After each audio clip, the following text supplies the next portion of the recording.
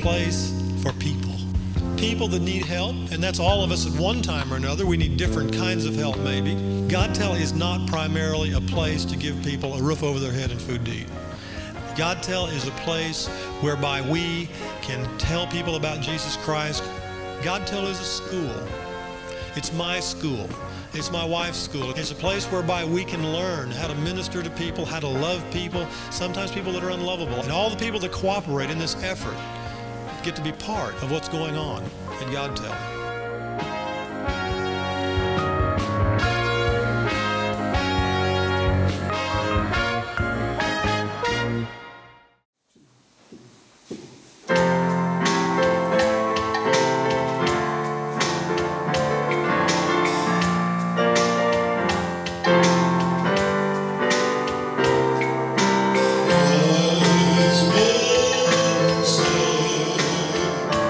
Godtel. Though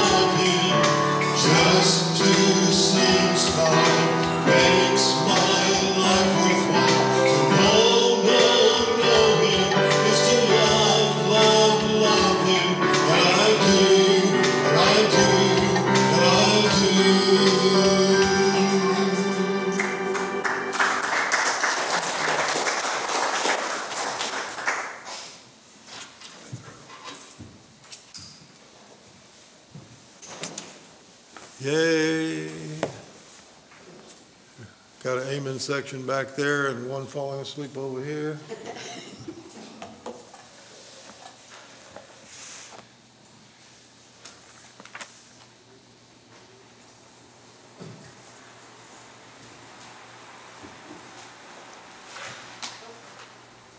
Too high there. Take those kids, give them lots of sugar, so when they go back to their parents, they'll be bouncing off the walls.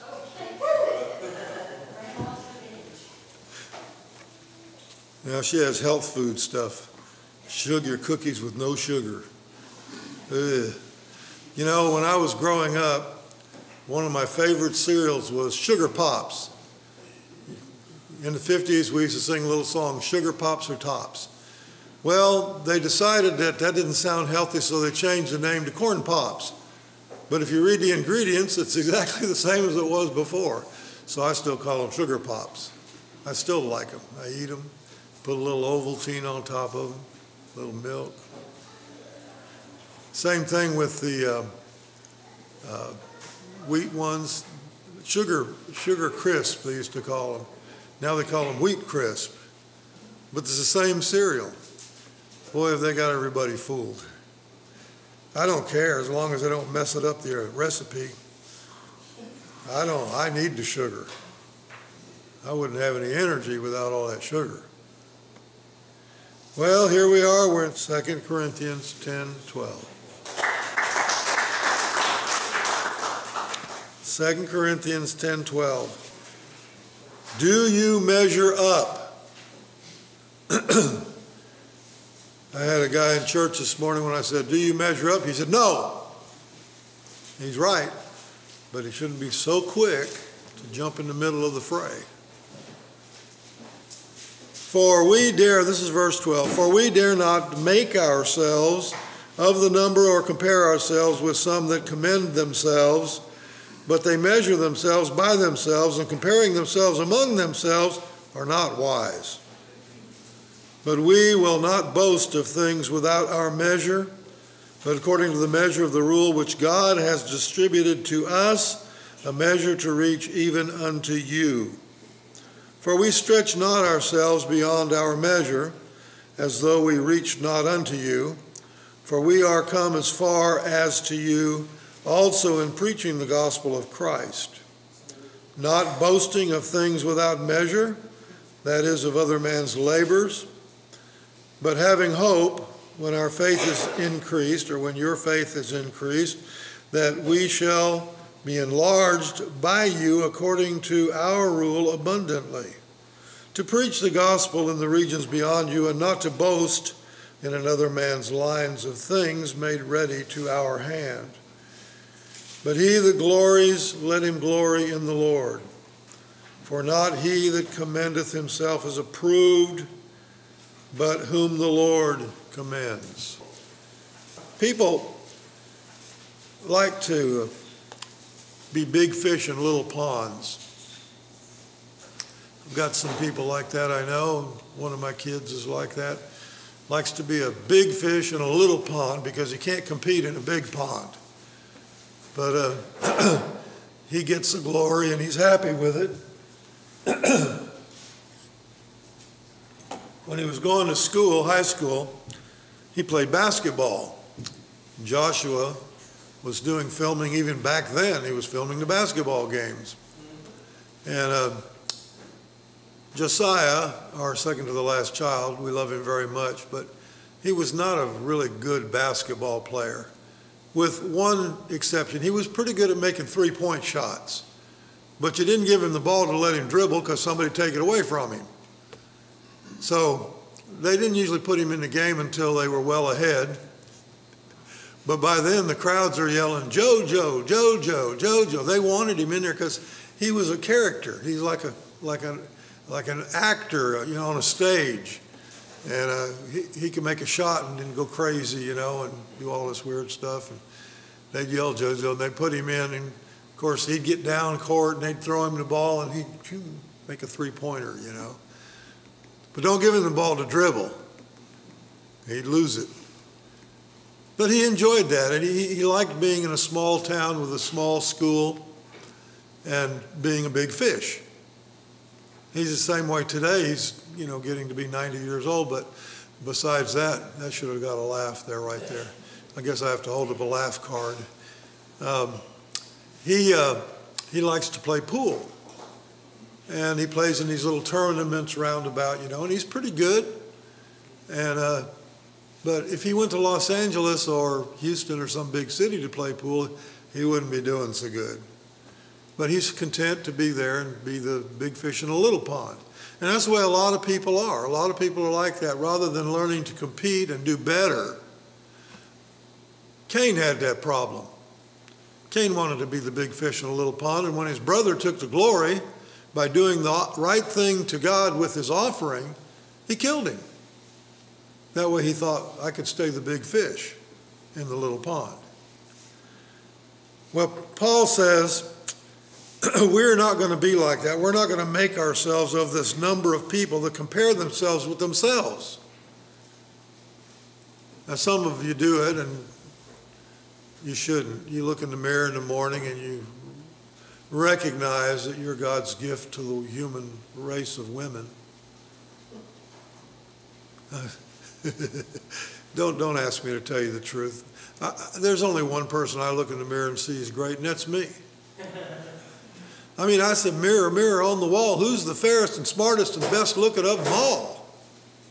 And the mirror says, you, brother June. I said, you better say that or I'll break you. We, we like to compare ourselves with people that we can do better than, rather than comparing ourselves with the ultimate example, which is Jesus.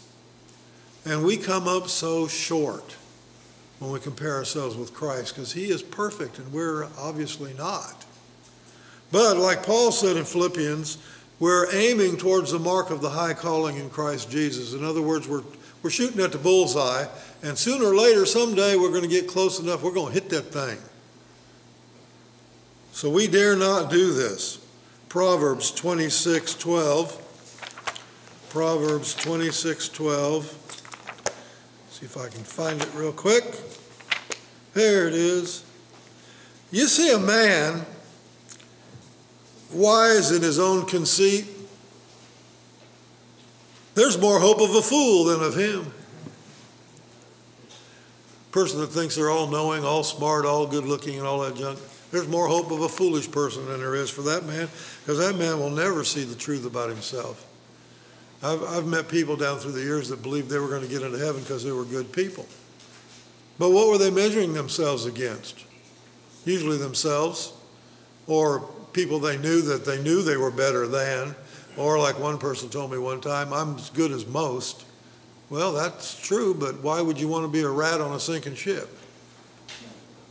Can you imagine the Titanic going down? All the rats were running towards the part that's up in the air. They're clawing and pushing each other and shoving each other, and finally one big rat makes it to the top and he says, I am the king rat. Blub, blub, blub, blub. That's the way some people are. We're on a sinking ship, but we don't care as long as we're the king. You know, I've had this problem all my life because working as in nightclubs before I got saved, I wanted to be the king of the hill the top of the heap. Oh, Frank Sinatra sang that one. I, I, wanted, I wanted to be the best of the best. And the truth of the matter is, there's million more people that are just as talented or more talented than I am. And that's just a fact you got to wake up to. It's not the one with the most talent that makes it to the top. I found that out, and that discouraged me. It's the one that knows how to play the game. It's the one that has the money. You don't think Willie Nelson got there because he had such a great voice, do you? 18 years he spent as a studio musician. He's a great guitar player and a great songwriter. 18 years, nobody knew who he was except a few people that he associated with in the studios. But after a while, because of the songs that he sold and because of the people that he worked with, he made a lot of money. After a while, he got so big money wise, that he could just do what he wanted to do. And he has.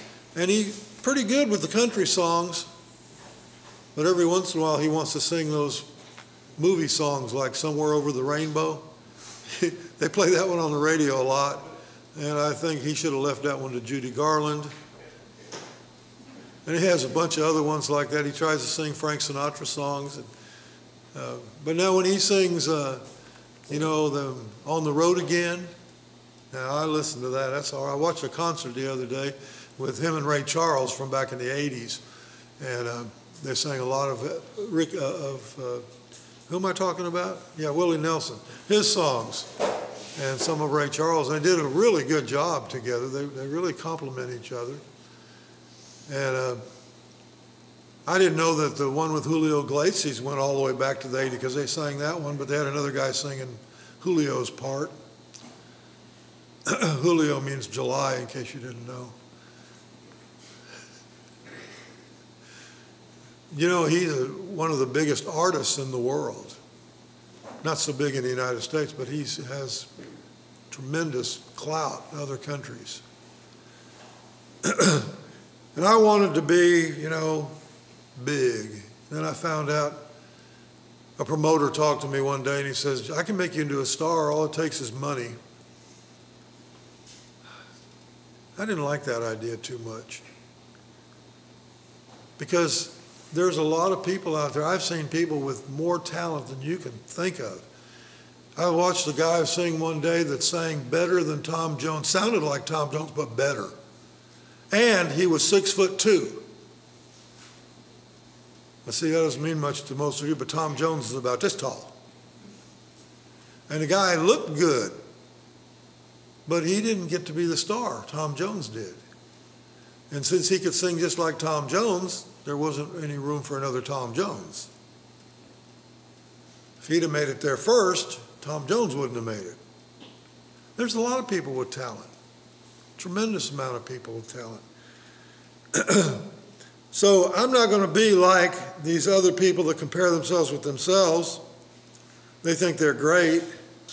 And I can't tell you how many people I've met in my lifetime who thought they could sing and I didn't want to embarrass them, but I felt like telling them you need to keep it to yourself because they measured themselves by themselves. And you should never do that. The standard is Jesus. And if you don't take into consideration that standard, you are not wise. But we will not boast of things without our measure. That means we won't exaggerate. What we're going to tell you is the truth but according to the measure of the rule which God has distributed us, a measure to reach even unto you. Romans 15:20. Yea, I have strived to preach the gospel not where Christ was named, lest I should build upon another man's foundation. You know, one of the joys of this ministry that I've had to recognize over the last 45 years now is that God has given me the privilege of preaching to people that are mostly not members of anybody's church. In fact, we meet a lot of people that come through God Godtel that have never been in a church. And sometimes we would take people to church and they were scared to death to go in the doors. Grown men, I mean, just terrified. They didn't know what to expect. They didn't know what to do. And of course, you know, some churches get a little wild and that really frightened some people. I had a friend, his name was John Rambo, and that was before the Rambo films. John said one day he was coming into town and he noticed there was a tent revival going on down on South Street. And so he decided to get off and go see it. And it was a Pentecostal tent meeting. And he said when he got in the thing and everybody was jumping around and speaking in tongues and everything, and then two guys grabbed him I guess they wanted to make him a slaying in the spirit victim. they said he grabbed him and he had to fight with them two guys to get back out of there. They were all excited. John was not excited. He was just a typical Baptist guy who had been an alcoholic and just wanted to know more about Jesus. He wasn't into all that hopping around stuff.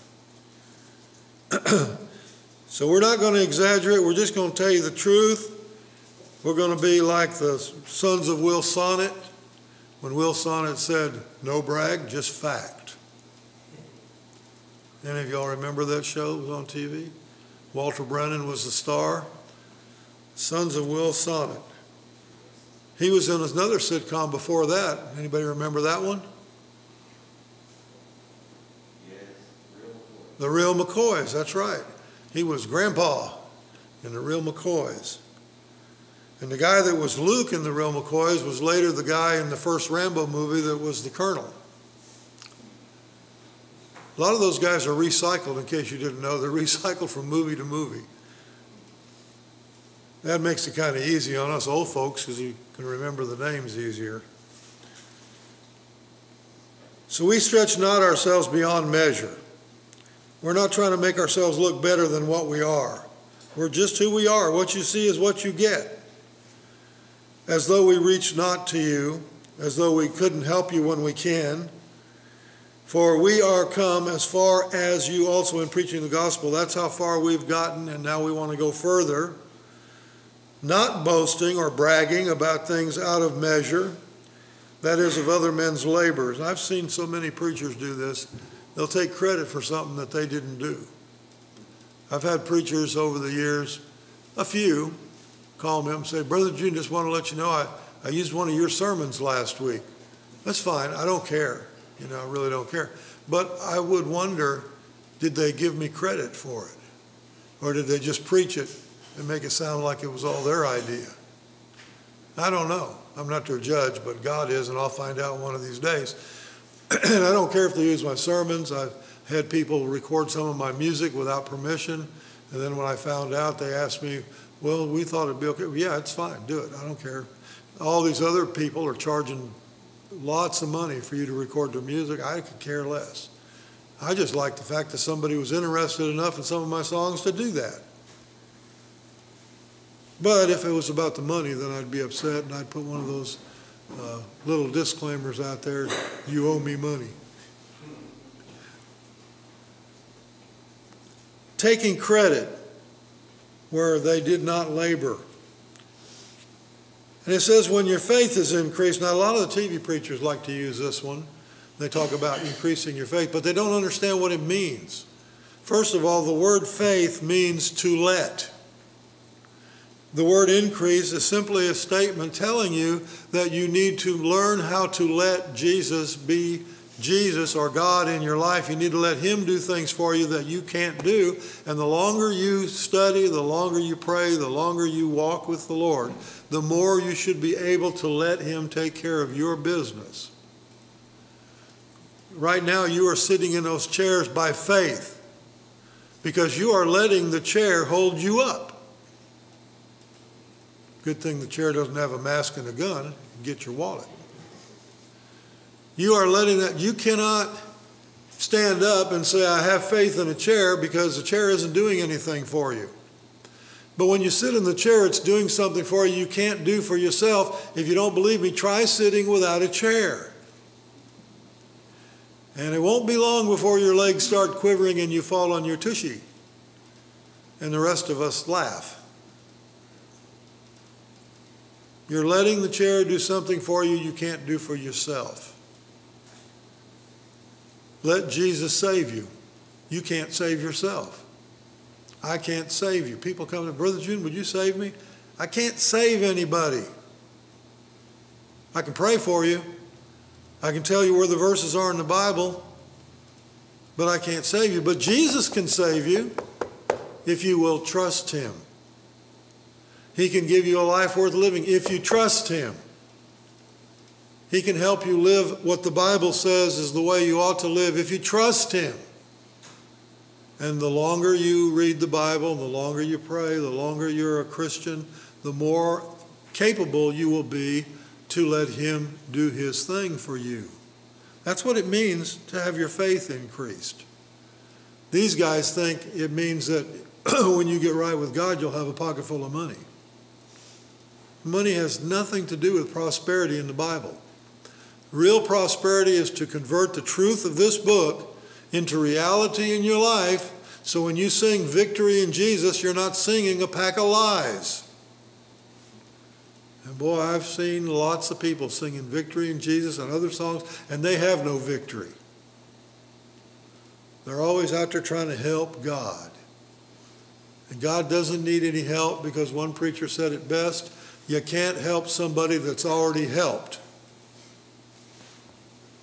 He was right. Abraham tried to help God, and that's why we got millions upon millions, hundreds of millions of Arabs. We wouldn't have had them if Abraham had listened, had not listened to his wife and trusted God. He became the father of the faithful, but it was 13 years later when he had Isaac. And then when God told him to sacrifice Isaac as a test, he said, Take your son, your only son. He didn't even count Ishmael as one of Abraham's sons because he should have never been. There's always people trying to help God. I watch churches do that. They're trying to help God. They come up with a plan of something to do to help God. And then they ask God to bless it, and they don't even know if God wants it. You know, we prayed a lot before we started God We prayed a lot before we moved. We had this property for 10 years before we started building anything. Because we wanted to be sure we were doing what was right. Because we knew the minute we got here, it would cost a lot more money to run this place than it did the place downtown. And God won't let us have any fundraisers. God won't let us beg, and we don't take money from the government. So we had to trust Him. And it's amazing because ever since we've been here, God has paid all the bills. How He does it, I don't know. I got a check yesterday from somebody in another state that I've never heard of. Opened the mail, my wife said, Who are these people? I said, Oh no, never heard of them.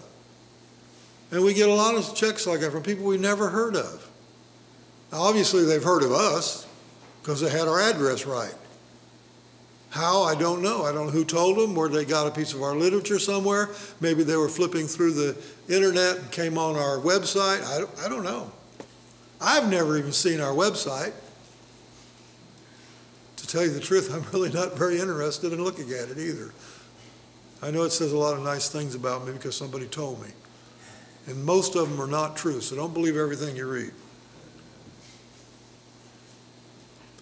This week, my wife and I bought another funeral plot. So now at the little cemetery across the street from our house, we have two funeral plots in the back next to each other. I didn't want to be in the front with the white folks. Some of you should laugh. You got to get a sense of humor. And so we got that. Then we went over to the, the funeral home and I started talking to him about caskets and all this kind of stuff. I said, I said, sir, the reason I'm asking you all this stuff now, I want to get it done and paid for so my kids don't have to do anything. And we've got a couple of kids that are responsible that would probably take care of business, but we got others that would just say, there's a dumpster, throw them in there. Which I don't care. I'm not going to be there. But they started out, and uh, anyway, but he added everything up, and it was going to be over $5,000 for each one of us. That was with a wooden casket, but that was $1,400. Then I found out as we were talking, I could be buried in a cardboard box. How much is a cardboard box? $140. I said, I'm going with that. But then he told me we could be wrapped in a shroud and buried. Well, you know what a shroud is? A blanket would do just well. The funeral, the burying place, to open up the grave is $750. To put that little tent out there with the chairs, $750. It's about $400 to take a ride in the limo. I told him I didn't want the chairs, I didn't want the tent, I didn't want the, I don't want to be embalmed. That was another, I don't know how many, much money that was, I forgot. And um, I told him, I said, look, I said, I live across the street from the, from the cemetery. I said, if I die at home, can't we just go straight there? He says, no, we got to bring your body back to the funeral home. I said, why? Well, just do. I said, well, I don't want, I said, I'll, I'll just have my wife throw me in the back of a pickup truck and drive me over there. So we got down, we got it down to around $4,000. We're not done yet negotiating. We're going to go back Thursday, and Nancy's coming with me this time, and we'll see what else we can get rid of. He said, Well, aren't you going to have a chapel service? I said, we have a chapel at Godtel. They can have a meeting there, anybody that wants to come, and we're going to do it this way. We're going to put up a sign or something that says, anybody that wants to see, say something about Brother June, or if it was Sister Nancy, then they, now's your time. And they can get up and say anything they want, even if it's ugly.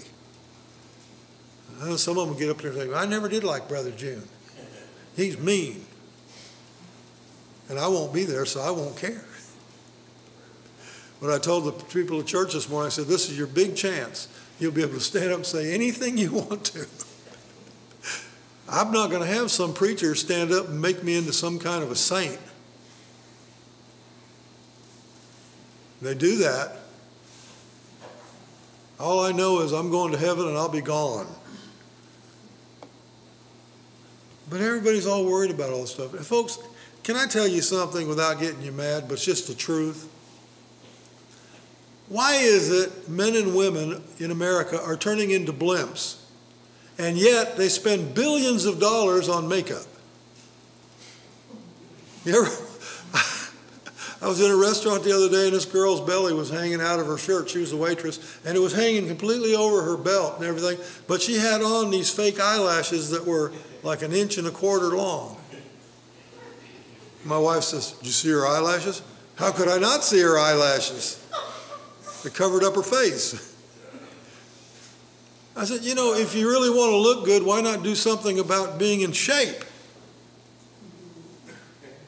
But no, we get all this paint, and the new thing is tattoos, you know. And I see these women at the mall in shorts that weigh 350 pounds, cellulite hanging out everywhere, but they got a tattoo. And how much does that tattoo cost? Some of them are real expensive. I know my son got one one time. It was an eagle on his arm, and it was ninety dollars. And this was back in the 1980s. That thing probably cost a lot more now. You know, why is it we're so concerned about this makeup stuff, making all these people that own the companies rich, and we look like slobs? Get all the makeup on the face and then run around in short shorts, a halter top, belly hanging out, and flip flops. I hope I don't make you mad. I'm just, I just want us to be realistic, you know.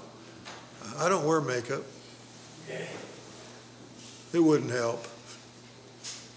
I thought about getting a hairpiece. I have one. It's been in the box for about 10 years. I hadn't even looked at it. Mice may have eaten it by now. I don't know.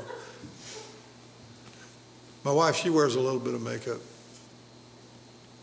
A preacher once said, You know, brothers and sisters, it's a sin for women to wear makeup. And there was another preacher in the church, and he stood up and said, Sir, I'd like to make a comment. Well, what's your comment? It's a sin for some women not to wear makeup. oh, that's pretty good. Don't take credit for what you haven't accomplished. But people do that all the time. To preach the gospel was his whole intent.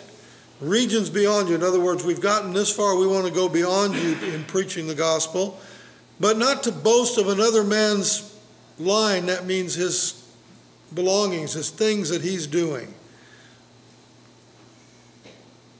But he that glories, let him glory in the Lord. Jeremiah chapter 9, starting in verse 23. Thus says the Lord Let not the wise man glory in his wisdom, neither let the mighty man glory in his might let not the rich man glory in his riches, but let him that glories glory in this, that he understands and knows me. I am the Lord, which exercise loving kindness, judgment, and righteousness in the earth. For in these things I delight, says the Lord. The Lord's not going to say, Elvis, I'm going to let you into heaven because you were a pretty good singer. And you look cool too.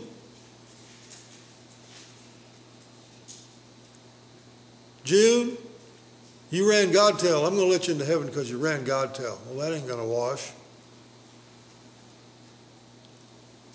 The things that you do, you do because you're a Christian, not in order to become a Christian. I don't do this to become a Christian. I'm a Christian. I'm going to heaven. I don't deserve it, but you see, we, none of us do. We don't go to heaven because we deserve it. We go to heaven because we trust Jesus. Why do I do what I do? Why I've been doing it for 45 years? Because that's what God wanted me to do. And I want to be pleasing to the Lord. And I am not always pleasing to the Lord, but I try to be pleasing to the Lord. Sometimes I lose my temper. Then I have to go around with a magnifying glass and a flashlight looking for it. Sometimes I can't find it with a search warrant. I'm trying to please the Lord not because I'm trying to get something out of Him, but because I love Him. That's the whole reason. But I, have run people, and there's religions out there Jehovah's Witnesses, Mormons, Christian Scientists, Unitarians, the Moonies. They're out there trying to do these good works to get into heaven or to get somewhere. Some of them don't believe in heaven, but some of them think they're going to inherit the earth. As far as I'm concerned, they can have the place. Jehovah's Witness one time told me, Reverend Gentry, don't you know the meek are going to inherit the earth? I said, You can have it, I don't want it. He said, You don't? I said, No, look at it, it's all polluted and messed up. I ain't staying around here cleaning up this mess. You can have it. He said, Well, what do you want? I said, I want what God promised me in Peter, 2 Peter chapter 3. A new heaven and a new earth. That's what I'm looking forward to. Because it'll be clean to start with. Somebody asked me one time, if you have jobs in heaven, what job would you want? I said, I don't care. Well, what if God told you to be the garbage collector? I say, so what? The garbage is perfect in heaven. so what? As long as he doesn't tell me to work with computers, I'll be all right. I don't like working with computers. Maybe he'll let me fix chariot wheels. I don't know. What difference does it make? It actually doesn't make anything because it's perfect, which is the only thing I absolutely know about heaven. The Bible talks more about hell than heaven. But I do know one thing it's perfect. Last verse For not he that commends himself is approved, but whom the Lord commends. Matthew chapter 7, verse 15. Well, I wrinkled my page all up. Hmm. Oh well. Matthew chapter 7, there it is. Now listen very carefully to these verses because I know you think all the preachers are going to heaven. Beware of false prophets. We're going to talk more about that next week. Which come to you in sheep's clothing, but inwardly they are ravening wolves. In other words, they look good on the outside, but they don't look so good on the inside. Now, being in the entertainment business, and my wife used to be an actress, in those fields we met a lot of people who looked really good on the outside. But then when you got to know them, what was on the inside was rotten. There's a lot of preachers that fit this bill too. You shall know them by their fruits. Do men gather grapes of thorns or figs of thistles? Even so, every good tree brings forth good fruit, but a corrupt tree brings forth evil fruit. A good tree cannot bring forth evil fruit, neither can a corrupt tree bring forth good fruit. Every tree that brings not forth good fruit is hewn down and cast into the fire. By their fruits you shall know them. Listen, not every one that says unto me, Lord, Lord, shall enter the kingdom of heaven, but he which does the will of my Father which is in heaven. That's James 122. Be ye doers of the word of God and not hearers only, deceiving yourselves. Many, many, not it doesn't tell us how many, but many, that's a bunch, will say to me in that day, But Lord, Lord, have we not prophesied in your name? And in your name we cast out devils. And in your name we've done many wonderful works. We healed the sick. We spoke in tongues. We did all this stuff. And then I will profess unto them, I never knew you. Depart from me, you that work iniquity, you that sin. And you know, I hate to tell you this because I don't burst your little bubbles, but if you turn on the television set There are a few good preachers on there, but a bunch of them fit this crowd right here. And if you send them money, I feel sorry for you because you're wasting it. Just helping them be rich. You might as well give your money to the cigarette people because you're doing the same thing. You're making them rich. And most of those people that are heads of those big companies, they don't smoke them. They know better. But they smile all the way to the bank with your money. And if you wait a little while, the price will go up some more and it'll be $90 million a piece. They're already, man, I quit smoking when they were 50 cents a pack. That was a long time ago. That was 1973. When I started smoking, they were 20 cents a pack. Now they're about a week's wages, aren't they? Something like that, or it's ridiculous. There's a lot of preachers, not just on TV, but in pulpits, that are preaching for the wrong reasons. Some are preaching because it's a job, and that's what they, you know. And I told, I was interviewing a guy that wants to help out down here last week, and I told him, I said, this is not a job.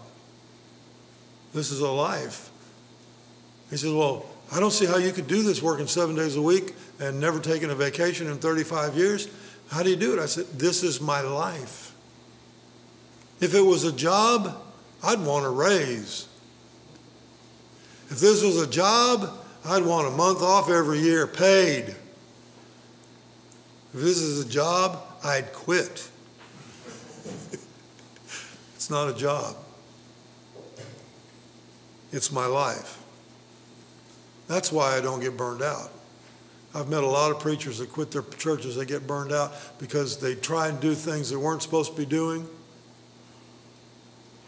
and God let them burn out. It wasn't their life, it was a job.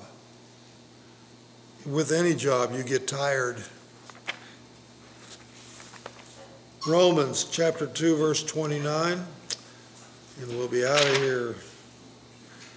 You need to understand it's not your lineage, it's not the color of your skin, it's not what you think of yourself or what other people think about you. The Jewish people really put stock in their heritage. I mean, we're Jewish. But look what God says. Romans chapter 2, verse 28. He is not a Jew, which is one outwardly. No, that's interesting. Neither is that circumcision which is outward in the flesh. That also is very interesting because they put great pride in the fact that they were all males were circumcised. But he is a Jew, which is one inwardly. And circumcision is of the heart in the spirit, and not in the letter, whose praise is not of men but of God. See, there's a big problem here. People are doing things by tradition because they want the other people that are doing the same traditions to be pleased with them. And God's not. When a person becomes a Christian, they are recreated in the image and likeness of God. They become, according to John chapter 1, verse 12, the children of God. And you get to the book of Romans, and it tells us that when you become a child of God, you become of the seed of Abraham. Spiritually, you become Jewish. Now, I've told some Jewish people that, they don't like it because they thought they had an exclusive club. But right here it says this I had a man, his name was Tab Tabrowski. I will never forget him. I'm sure he's probably passed away by now. This was 35 years ago and he was already old. He was Jewish and he had become a Christian. And because of that, his parents had a funeral service for him and disowned him. Well, he was very bitter, angry man. And every morning when we'd have Bible study, he always made sure he was the last one coming down the stairs from the men's dormitory. And when he'd get halfway down the stairs, he would look over at me and he would say, Ah, good morning, Gentile pig. Every morning. And people would say, But Brother June, Doesn't that bother you? I said, No, I understand him. The Jews always called the Gentiles dogs and pigs. Of course, today's climate, that would not be politically correct, but they wouldn't care anyway. Jewish people invented prejudice, folks. A Jewish person would be standing in town and a Gentile would come walking through, they'd all turn their backs. If a Gentile was working at McDonald's, the Jewish people wouldn't eat there. It was against their law, physical law, to go into the home of a Gentile. You can read about that in the book of Acts. Peter got in trouble because he went into Cornelius' house. So every morning, here comes Tab Tabrowski. Ah, good morning, Gentile pig. I'd say, Good morning. He'd take his seat. No trouble with him the rest of the day. But the next morning, Ah, good morning, Gentile pig. Well, one morning I was reading the book of Romans and I came across this verse. I had never really noticed it before. And as he came down the stairs, he went, Oh, good. I said, Whoa. He said, What? I said, You can't call me Gentile pig anymore. He said, Why not? I said, Because I read Romans chapter 2 and found out I'm just as Jewish as you are. He got his Bible and he looked it up and he never called me Gentile pig again. He saw the truth. When I became a Christian, spiritually, I became Jewish. I am of the seed of Abraham, just like the Jews are. That was what the promise was that God gave Abraham when he said, I'm going to make your offspring be like the sand at the seashore, innumerable. And then look at the stars. I'm going to make your offspring like the stars of heaven, innumerable. He's talking about two types of people there the spiritual Jews and the physical Jews. And I be one of them spiritual Jews. And I've told that to many Jewish people, well, I shouldn't say many, some Jewish people over the years, and mostly they don't like it. But some who are Christians that call themselves now completed Jews, they understand.